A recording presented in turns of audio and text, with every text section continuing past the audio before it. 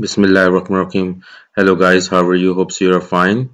So today our topic is how to add cookies in your website. So first step, if you haven't subscribed my channel, I request you to kindly subscribe it. WordPress Boom. I'm using TasteWP. Uh, you just create uh, account. Just click on set it. Uh, first you click on that thing and click on set it up okay you get that uh, pop-up just click on access it now. Just click on URL. You redirect your website. Okay it's give you password that thing. Just copy that and paste and log in. Remind me later okay? Is uh, give you free web uh, WordPress uh, website for two hours okay? You can practice or you give demo to any of your client okay? So next step is uh, you need to remove the pages like uh, I already removed pages. You need to remove post. So it's the basic steps. Uh, if you install the fresh web WordPress website so what is one of the most important thing you need to adjust your permalink okay? Just post name and save change. Post name dashboard okay? So click on plugin add new plugin and popular and uh,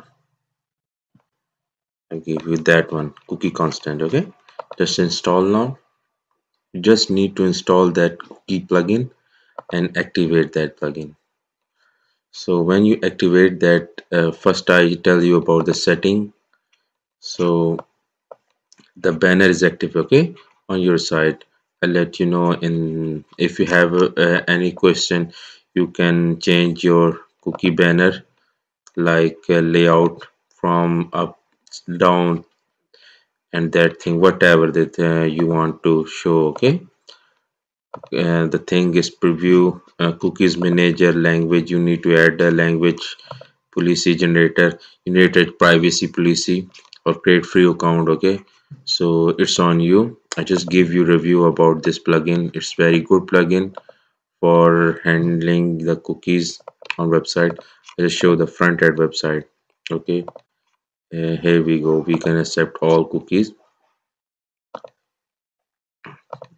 Um, first I need to create any random page. Um, I need to restore the uh, old one. Just uh, tell you example of the cookie.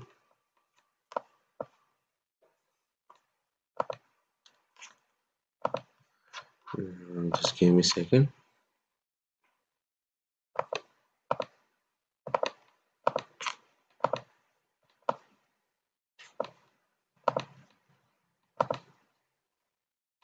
Think this page is not published.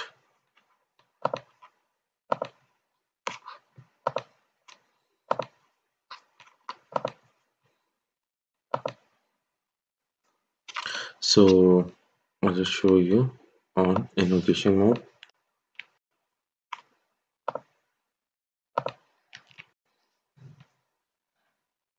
here we go okay?